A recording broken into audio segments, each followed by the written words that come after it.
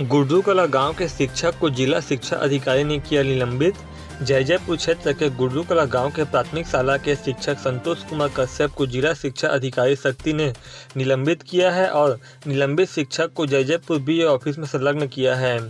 शिकायत में बताया गया है कि शिक्षा कर्मी वर्ग तीन की भर्ती होते समय फर्जी अनुभव प्रमाण पत्र प्रस्तुत कर शिक्षा कर्मी वर्ग तीन की नौकरी हासिल की थी, जिसकी शिकायत मिलने पर जिला शिक्षा अधिकारी बी एल खरे ने जाँच कर शिक्षक संतोष कुमार कश्यप से प्रस्तुत कारण बताओ सूचना किया था। प्रस्तुत कारण बताओ सूचना पत्र का जवाब संतोष पद न होने के आधार पर छत्तीसगढ़ सिविल सेवा अधिनियम 1966 में नियम 9 के प्रावधानों के तहत शिक्षक संतोष कुमार कश्यप को तत्काल प्रभाव से निलंबित किया गया है।